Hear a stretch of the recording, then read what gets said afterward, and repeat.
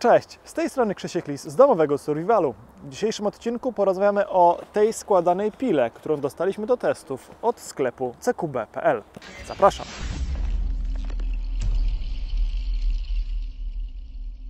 W opisie pod filmem jest e, odnośnik do miejsca, w którym możecie kupić tę piłę i to taka dobra zasada. Zanim zapytasz, sprawdź, czy to, co pytasz, nie jest w opisie. A tu akurat jest w opisie. Dostaliśmy do testów na zasadzie, a zobaczcie, co to jest warte i powiedzcie coś o tym na swoim kanale. No więc zobaczyliśmy e, i mówimy. Ja potem zbieram te rzeczy, nie martwcie się. Dostajemy to urządzenie w takim oto pokrowcu, który ma tutaj szlufkę na pasek, żeby sobie można było to nosić na pasku, gdyby ktoś potrzebował. E, I to się w zasadzie składa wszystko do takiego etui.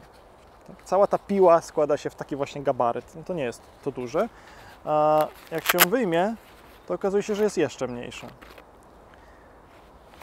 No i to jest to. Na pierwszy rzut oka wygląda jak taka, taki łańcuch z pilarki łańcuchowej, nie? Nie wiem, na ile Wy to widzicie, ja tam potem pokażę jakieś zbliżenie. E, I takie było moje pierwsze odczucie. Natomiast e, w ogóle bardzo śmieszna historia jest z tym, jak myśmy zaczęli to testować. Obejrzeliśmy to sobie z Arturem i tak, to są takie małe literki ni albo in. Zależy jak się patrzy. Jak tak patrzę to jest ni, a jak tak patrzę to jest in. No i tak sobie myślę, kurczę, jak to jest napisane in, to pewnie jest in into the drewno, tak? Czyli w sensie, że tą właśnie częścią trzeba się ugryzać w drewno. Patrzę w instrukcji, w instru- w instrukcji napisane jest, że ostrymi zębami. Czy, czy to jest ostre? Wygląda na ostre. Zaczynam. No i tak piłuję, piłuję, piłuję, piłuję, no. No i nie chcę się piłować. Męczyłem się przeokrutnie, naprawdę męczyłem się przeokrutnie. Miałem taki fajny patyk jeszcze, który pomogły mi ściąć bobry wcześniej, jak zresztą widzicie. A niestety, no nie chciał się dać ściąć. Natomiast nie skojarzyłem, że to in, to, to tak może być równie dobrze oznaczenie, w którą stronę łańcuch ma chodzić w pilarce, w prowadnicy, a nie w drewnie. Potem, jak już tak zrozumiałem, że kurczę, ja może jednak robię coś źle, może zo- zobaczę, ale byłem święcie przekonany, że, że robię to dobrze, nie? Myślę sobie, dobra, dobra, zobaczę, zobaczę z drugiej strony. Tak, na wszelki wypadek. No i przyznam że przeży- przeżyłem zaskoczenie, bo rzeczywiście zaczęło się piłować dużo łatwiej, jak zresztą sami widzicie. Taki generalnie, no to nie był gruby kijek, tak, ale e, się go dosyć dobrze, aż do, prawie do samego końca, kiedy po prostu już tutaj e, piła się tak mocno zagina e, i w tym momencie już się tnie najtrudniej. Zwłaszcza jeśli się tnie tak, jak ja chciałem, czyli od góry obydwiema rękami, albo od dołu, albo z boku. W sensie, że obydwie ręce z tej samej strony. Jakbym ciął tak, albo chociaż tak, to byłoby to troszkę lepiej wtedy. No ale ja ciąłem tak, więc wyszło tak, jak wyszło. Fajne z tej pile to właśnie, że ona się nadaje do ścinania czegoś, do czego nie mamy dostępu inną piłą. Myślę, że jakby się uprzeć, można by próbować nawet coś, ściąć nią bardzo, bardzo wysoko nad głową. Bo zwróćcie uwagę, że ona jest taka dosyć sztywna, tak? Przez to, że to jest taka konstrukcja takiego łańcucha, ona jest dosyć sztywna, przez co jak trzymam ją tak, w sensie o, tak, to mam pewność, że zawsze się wgryza w drewno dobrą krawędzią. Właściwą krawędzią. Jak już wiem, która jest właściwa, to już mam pewność, że się wgryza właściwą krawędzią. E, o co mi chodzi? Jakbym miał taką piłkę, która byłaby bardziej elastyczna, to ona by mi się mogła gdzieś tam wysoko nad głową zakręcić w jedną lub w drugą stronę, tak? I wtedy nie byłoby wiadomo, czy tnie, czy nie tnie. A tak? Zresztą to jest napisane w instrukcji. Przedłużamy sobie te szlufki, montujemy do jakiegoś kawałka sznurka, no, rzucamy to gdzieś wysoko nad głowę i po prostu sobie tak ciągniemy, ścinając gałąź, uważając, żeby nam nie spadła na głowę, na przykład gałąź. Tak? No może zdarzyć się sytuacja, że e, będziemy potrzebować sięgnąć po akurat jakiś kawałek większy gałęzi znajdujący się dużo nad naszą, wysoko nad naszą głową i wtedy taka piłka e, będzie łatwiejsza w użyciu niż być może mm, pilarka spalinowa, no, do której trzeba byłoby wziąć drabinę najpierw. E, czy piła ręczna inna, jakaś taka płatnica, to się tak chyba nazywa, do której też trzeba byłoby wziąć najpierw drabinę. Jako, że to jest piła składana, to nie kupuje się tego po to, żeby używać to regularnie w ogrodzie na przykład, tak? E, Bo są do tego wygodniejsze narzędzia.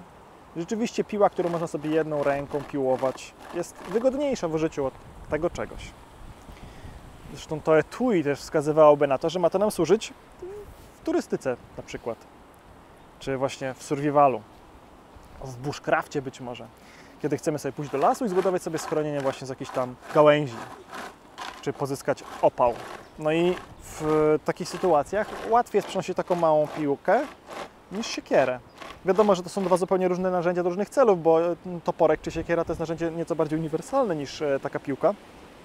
No ale jednak, jeśli patrzymy tylko pod kątem cięcia drzew czy cięcia gałęzi, no to taka piła jest dużo lżejsza. I myślę, że dla niewprawnego użytkownika, takiego jak ja, e, dla kogoś, kto nie ma kompletnie pojęcia o pozyskiwaniu opału czy ścinaniu drzew, to to łatwiej jest się nauczyć chyba ciąć taką piłką niż siekierą.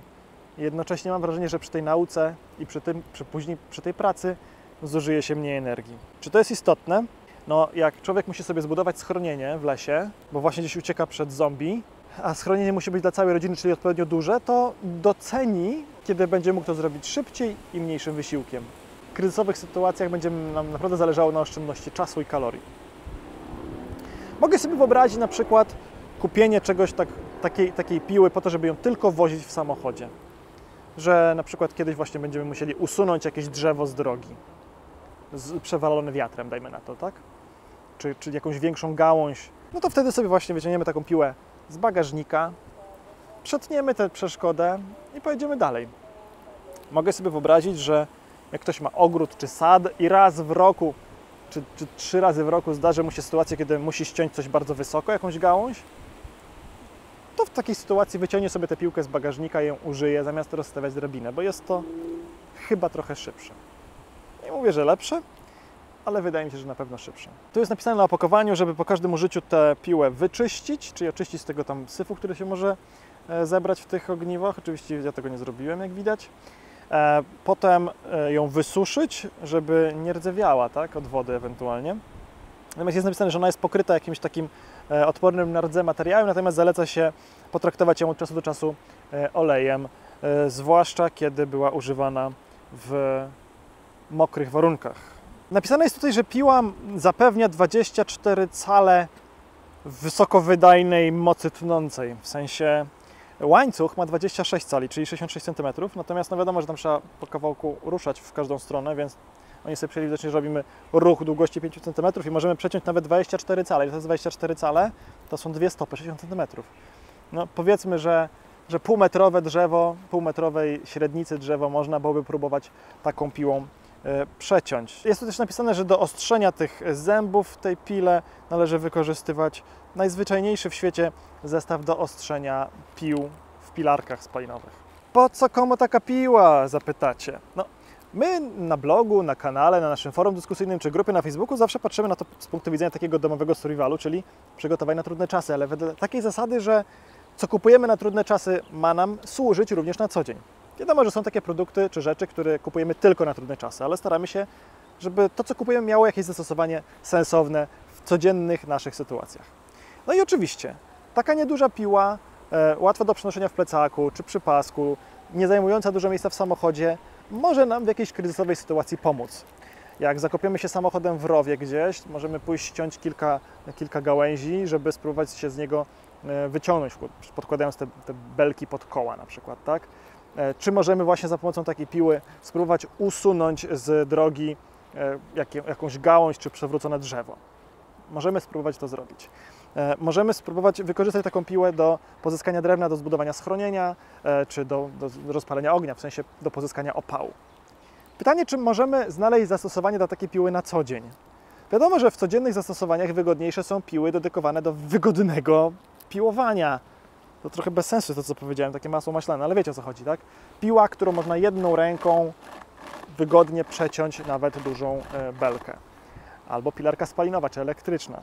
Natomiast do takich drobniejszych prac, na zasadzie ścięcia na przykład jakiejś takiej znajdującej się wyżej gałęzi w sadzie albo na drzewie, które stoi obok parkingu, gdzie parkujemy samochód, widzimy, że jest jakaś taka gałąź nadłamana przez wiatr, lada chwila spadnie nam na samochód, no to mogę sobie taką piłą wygodniej ściąć tę gałąź niż rozkładając, łatwiej, wygodniej w sensie szybciej, tak, niż e, rozkładając specjalnie drabinę, tylko po to, żeby móc e, po nią sięgnąć, do niej sięgnąć zwłaszcza jak ktoś nie ma dużej drabiny, to może być to problem. I myślę, że właśnie pod takim kątem należy taki zakup rozpatrywać. To znaczy, kupujemy sobie piłę, która ma nam służyć właśnie w jakiejś tam kryzysowej sytuacji. Jeśli spędzamy czas w lesie i tam zdarzy nam się czasami właśnie e, potrzeba ścięcia jakiejś jednej czy dwóch gałęzi, to też raczej nie będziemy w tym celu brać ze sobą do lasu na wycieczkę pilarki spalinowej czy jakiejś dużej siekiery, no bo może właśnie e, taka piła nam to narzędzie zastąpi.